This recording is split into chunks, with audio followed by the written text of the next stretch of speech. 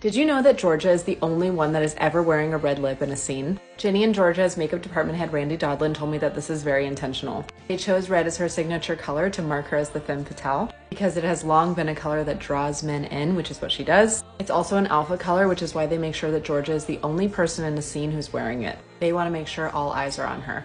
There are two exceptions though. More on that in part two.